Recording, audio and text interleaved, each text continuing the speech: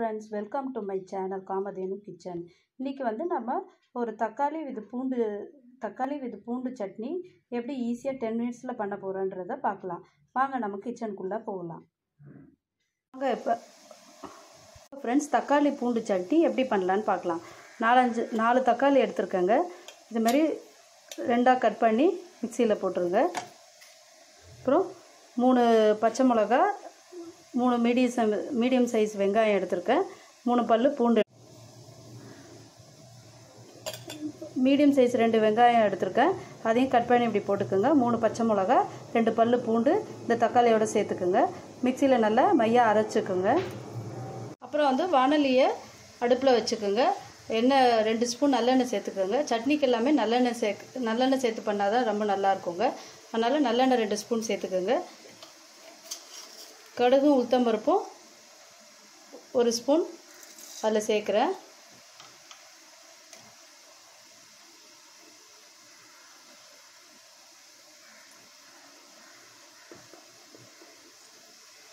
கடுகு உளுத்தம்பருப்பு பொரிஞ்சதுக்கப்புறம் கொஞ்சம் பெருங்காயம் ஒரு ஸ்பூன் சேர்த்துக்கோங்க.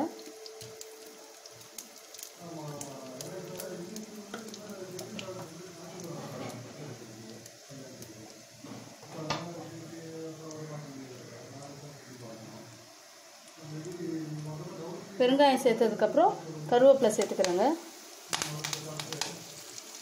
பெருங்காயம் சேர்த்ததுக்கப்புறம் அந்த தக்காளி விழுது அரைச்சி வச்சுருக்கீங்கள அதை சேர்த்துக்கணும்.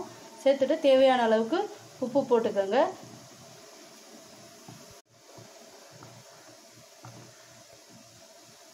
அப்புறம் கொஞ்சோண்டு வெல்லம் போட்டுக்கணுங்க. வெல்லம் போட்டால் தான் டேஸ்ட்டாக இருக்கும்.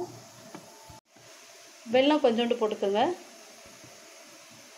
போட்டுட்டு நல்லா கிளறி விட்டுருங்க. கிளறி விட்டு கொஞ்ச நேரம் கொதிக்கணும். ஏன்னா பச்சையாகவே நம்ம அரைச்சிருக்கோம் பார்த்தீங்களா அதனால கொஞ்ச நேரம் ஒரு ஃபைவ் மினிட்ஸ் கொதிக்க விடணும். கொதிக்க விட்டோன்னே அப்புறமா ஆஃப் பண்ணிடணுங்க சிம்மில் வச்சு. கொதிக்க விடணும். சிம்மில் ஒரு ஃபைவ் மினிட்ஸ் வச்சுருங்க. நல்லா கொதிச்சோன்னே அப்புறம் அடுப்பை ஆஃப் பண்ணிடுங்க. நல்லா தக்காளி சட்னி கொதிச்சிருச்சுங்க. ரெடி ஆகிடுச்சுங்க இப்போ அடுப்பை ஆஃப் பண்ணிடலாம்.